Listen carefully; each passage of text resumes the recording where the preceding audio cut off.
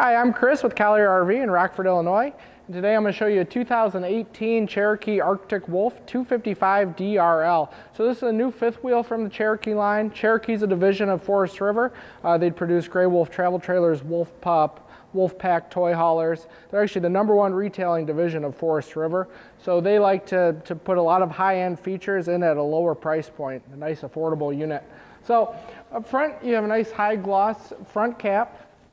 Um, there is integrated these blue LEDs. This is the turning point hitch, so this will allow you to make 90 degree um, turns and should allow you to use a, a, short bed truck without having to buy an expensive sliding hitch.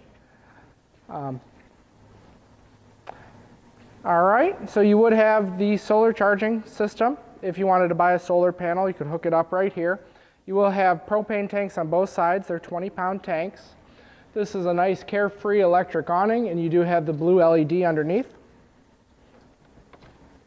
All right, so here's your main storage compartment on the exterior and you can access this from the front and both sidewalls. So nice and easy to get things in and out. All right, so the Arctic Wolf would use a friction hinge door, entry door, so you can stop this at any point, wherever is most convenient for you, or you can fully open it. And you would have this secure stance step from MORryde. So this is really nice. It just uh, can flip up in travel mode. Otherwise, it comes out here. And it's just really stable. It's, uh, it has a lot greater weight capacity than traditional RV steps. And you have a big grab handle, so nice and easy um, to get into this trailer. All right, so a couple things on the Arctic Wolf. One is they have a key to like system. So basically you would only have to have one key and you can open your storage compartments, your entry door, so you don't have to fumble with three or four keys. And this would have the extreme weather Arctic package. So that'll be a heated and enclosed underbelly, heated by your furnace. You have a 35,000 BTU furnace, so an upgraded furnace, um, ceiling fan, and a fantastic fan. So real nice system to have. Here's your water heater. You have an outside shower. Um, these would be some uh, TV hookups at the campsite for um, TV out, and then some electrical outlets, a TV mount, and you'll have the same TV mount on the inside, so you can bring your TV from inside out here or have two separate TVs, and some outside speakers. All right, so you would have the ground control 3.0 system, so that is a fully automatic system, so it's just a one touch um, really cool system. It also remember the hitch height of your truck, so uh, a fantastic thing. Outside kitchen on the back, so you have a fridge. You also have an ice maker, which is pretty unique. Um, and underneath, you would have an LP Quick Connect. So if you wanted to bring a grill, you could just need to bring a low pressure grill, but you could set that out here at your campsite. All right. On this back wall, I wanted to show a couple things. You do have a uh, prep system for a backup camera if you wanted to add one of those. And then they do a cool thing with the bumper. They add some extra framework. So if you wanted to add a hitch receiver, it'd be really easy to do so. It would just bolt in for a nice uh, strong hitch for a, a bike rack or something like that. All right. Back here's your power cord. So this is 50 amp. So we option this just with the single air conditioner, but if you wanted to add a second air conditioner, you have sufficient amperage and it's already pre-wired in the bedroom. All right. So this unit comes in at 30 feet 4 inches, so definitely a good unit for um, state and national parks, and about 7,900 pounds, so right in that half ton, three quarter ton towable range. Two slides on this unit. Um, I want to show these are actually cable slides. It's Norco is the company that makes them. Um, it's really a nice reliable system. It's nice and lightweight. And if you ever needed to do any work on them, um, all the cables um, join basically at the top of the slide out behind the fascia. So it's pretty easy to work on comparative to other slide out systems. So here's your upgraded furnace. You do have um, your holding tank dumps are down here as well as your low point drains. So they're very easy and accessible.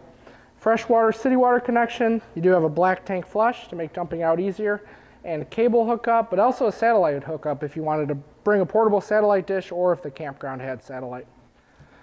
All right.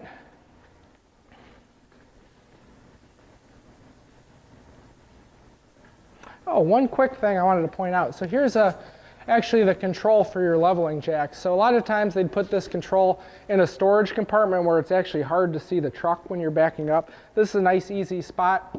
So just a pretty thoughtful design.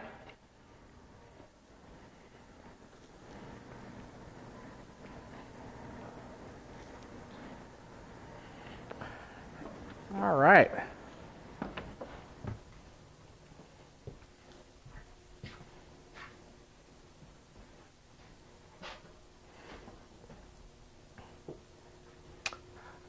So on the inside you have a nice little kitchen, a nice high-rise pull-out faucet. This is definitely an upgrade.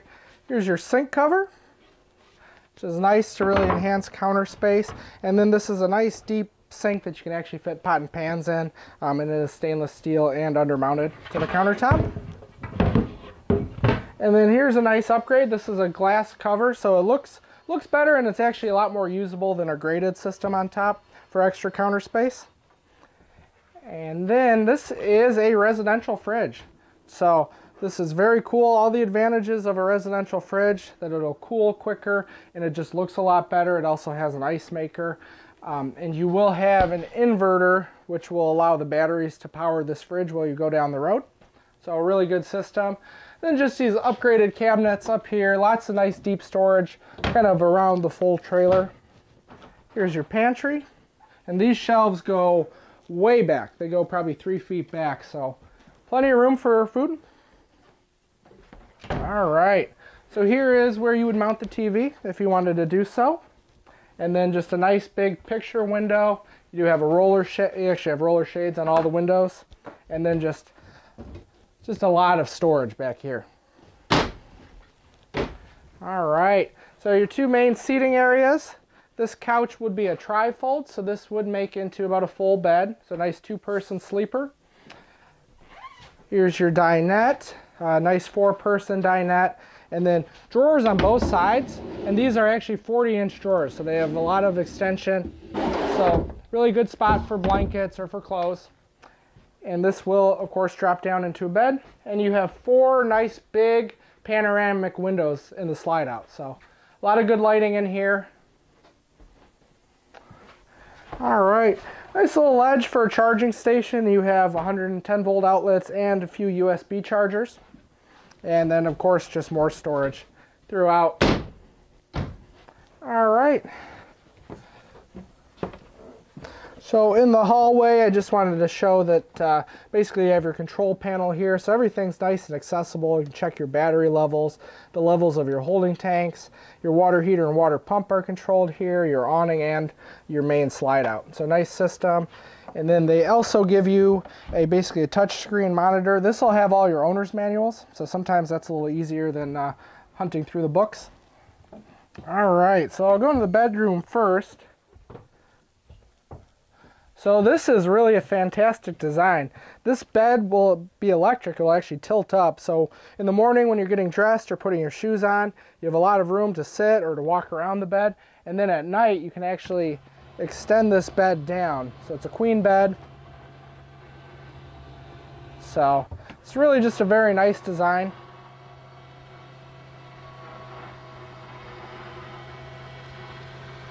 So like I said, here's the pre-wiring for the second air conditioner if you wanted to do that. Otherwise, at this size of trailer, you have full ductwork, racetrack ductwork throughout the trailer, so it should stay nice and cool with just a single air. All right, so nice wardrobe on this slide, and then you get basically kind of a Jack and Jill uh, bathroom over here. So nice big roomy garden tub. And then a nice, uh, nice size sink in the bathroom. Here's your medicine cabinet. And then it's nice having the two doors so whoever's getting out of bed has nice easy access to the bathrooms, not climbing over anybody. So this is a 2018 Cherokee Arctic Wolf. This is a 255 DRL model. So this is for sale at Collier RV. So give us a look, collierrv.com, or our number here is 815-332-3322. Thanks for watching.